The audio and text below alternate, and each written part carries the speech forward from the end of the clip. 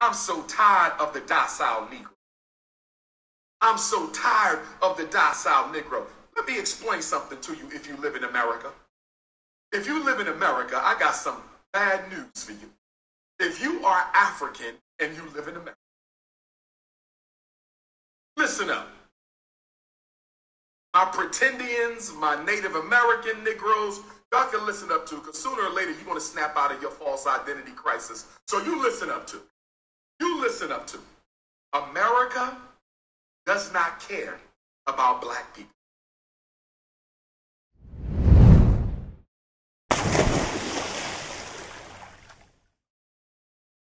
Hello, and thank you for being here and supporting this channel by taking time to watch this video. I'm Lexi. Welcome.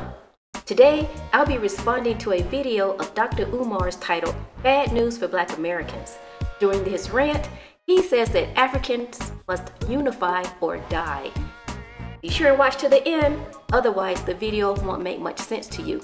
You'll be totally confused, and there's enough of that going around already. Now, let's listen to some of what Umar has to say. America does not care about black people. Do I need to repeat that? Do I need to repeat that? Black people, it's time to unite. It is unify or die.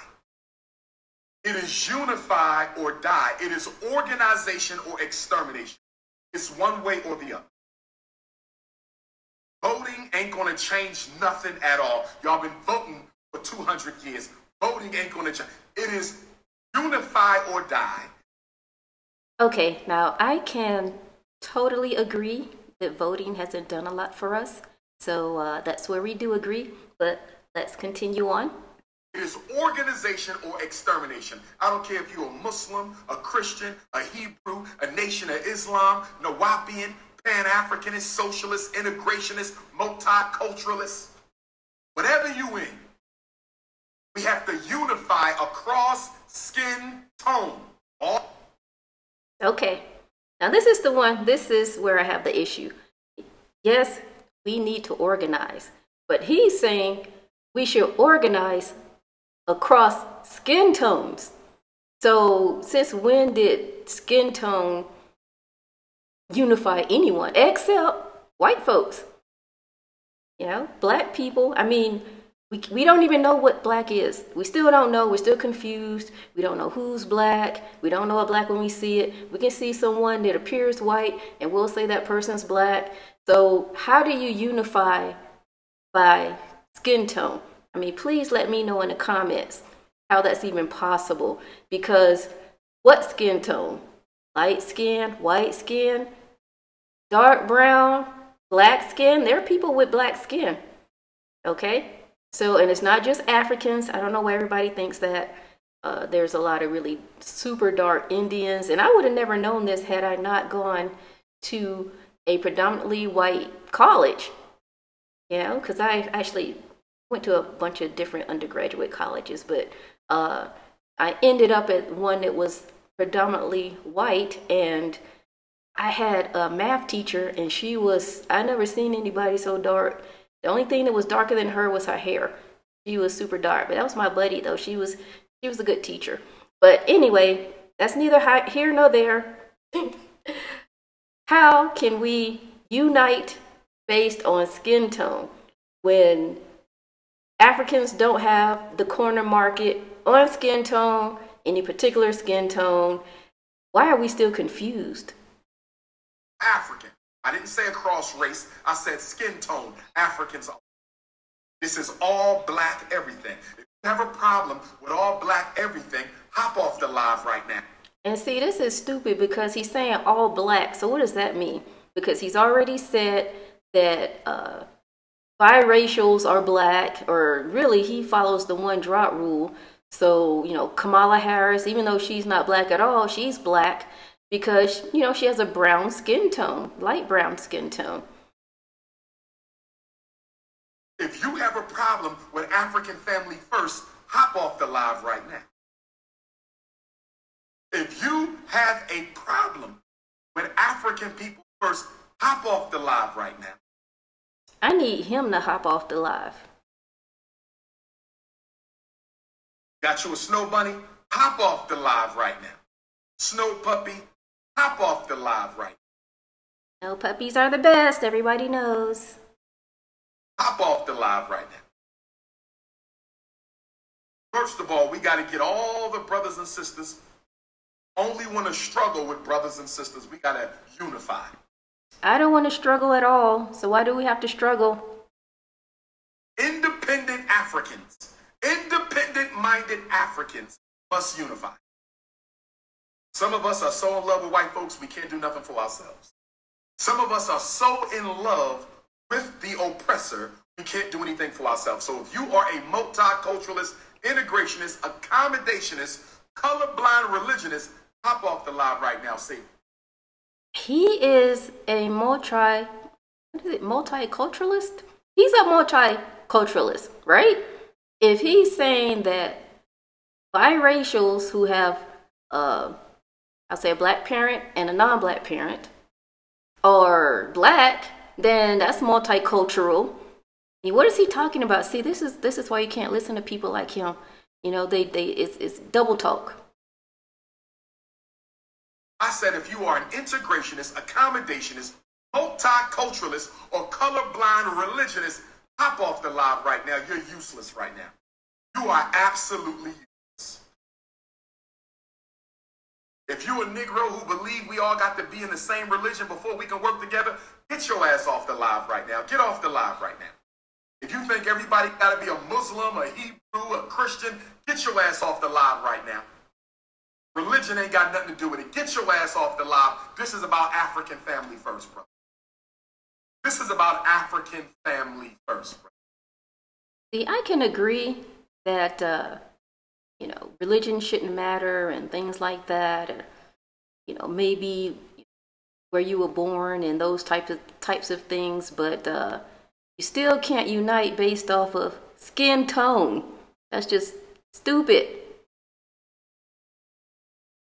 This is about African. We don't hate nobody, but we love ourselves. And we will not be given any explanations for why we are all black everything. That's over with. It's okay to hate others if they're doing things that are uh, directly affecting you in a negative way. I just I just don't I don't even know why we even think like that. I don't hate nobody. I don't hate nobody. You ain't got nothing against this person or that person or whatever. You know. So I mean, ah, crazy. That's over with. The white man ain't gave an explanation yet for why he putting black people out here. He ain't gave an explanation yet on why the prisons are filled up with my people. Okay, I have not heard any explanations for why black men are killing black men. I haven't heard any explanations for why black men are killing black women. So we need to address that before we sit here and point to the you know who, because he's not saying, uh, you know, accusing them of, you know, all these atrocities when, uh, you know, we're committing a lot of atrocities against ourselves. So what about that? Yeah, I said it. What about black on black crime? Ain't given an explanation yet why black children are being miseducated and over-identified for educationally mentally retarded ADHD learning disability. The white man ain't given an explanation yet on why black children are arrested eight times as much as white children. See, we know all these things are happening, but what are we going to do about it, right? That's the question. That's the I hate when people complain. I mean, I used to sit next to this this African guy from uh, Kenya, and he used to come in every morning and complain about the white tea man. And my question was always, what are you going to do about it? You know, and nothing. He wasn't going to do it. I finally got to him to admit that he wasn't going to do anything. And why he said? Because he didn't have any power. He hasn't given an explanation yet on why he gentrifying the black community. He hasn't given an explanation yet on the poor health and the high infant mortality rate of black America. He hasn't given no explanations, but I'm supposed to explain why I'm all black everything. I'm supposed to, to explain why I'm African family first. If he ain't got to explain his conduct, I damn sure don't have to explain my conduct. If he is for African family first, why is he always preying on single moms? I mean, why? Unapologetically African. If you're not going to be unapologetic, get out the way. I don't want to hear about no damn intellectual masturbation identity war. I could give a damn about what somebody chooses to call himself.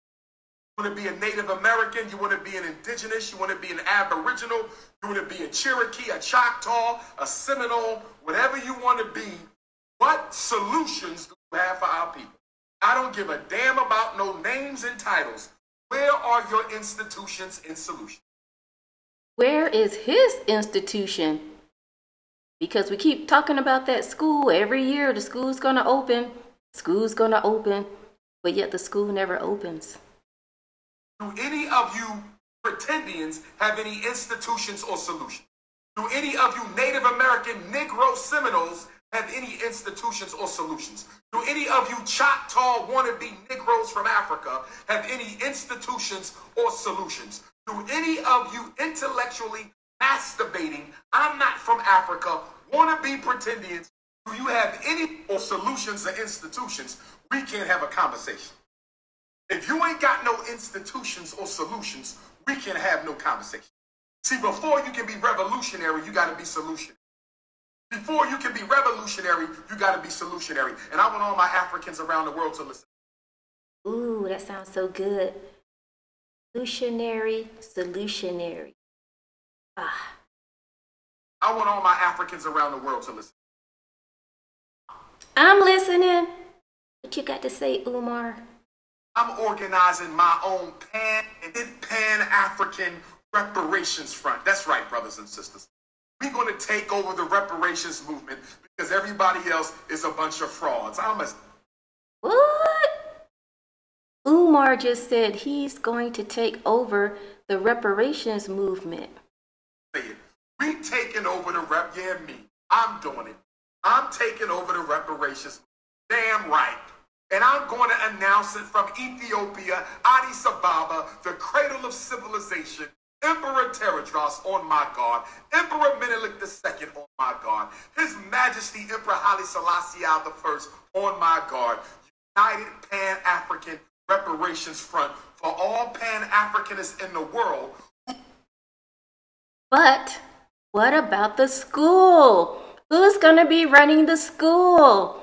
How can he lead the Pan African reparations movement and run the school at the same time? The uh, Frederick Douglass Marcus Garvey, uh, what, what? Wait a minute. Frederick Douglass Marcus Garvey Institute for Boys. What about that? I don't think he can do both at the same time. So, what does this probably mean? That he'll never open the school. Want a united pan African reparations agenda. That's right. That's right, brothers and sisters. We will not be divided by language. We will not be divided by religion. We will not be divided by nationality. Keep saying that, but how are we going to be unified? It can't be by skin tone. he says we, we won't be divided by all these other things, religion or fraternity or whatever. But how are we going to unify? What is the commonality? Because it's not skin tone. Can't go by that. And ethnicity. We are one people. We are one reparations front. We're going to put out one united reparations demand. That's right. That's right for Africans in Africa, for Africans, for Africans in Australia, for Africans in the South Pacific, for the Africans of Canada, for the Africans of the Caribbean, for the Africans of the United States of America. All right, that's enough of that. Basically, though, he's just saying. I don't know. Looks like he's going to abandon the school and he's going to take up this uh, this the, as the leader of the reparations movement. And uh, if we don't unify by skin tone, we're going to be eliminated, terminated, eradicated. How? He didn't say. He's just saying unify or die. So, what do you guys think in the, you know, let me know what you think in the comments, please. I don't know what he's talking about. Uniting based on skin tone. It's the craziest thing I've heard. He sounds even crazier than Go Black, who's saying he's not African. Don't call him African, but what shall we call him? I don't know. Nobody knows. These two are agents of confusion, and I don't think we can listen to either one of them. But you know who you can listen to? Me. So if you haven't subscribed to the channel, go ahead and subscribe, like the video, share it with your friends, and I'll see you on the next one. And I also like to welcome all of my new subscribers. I'm so happy to have you here. So until next time, bye bye.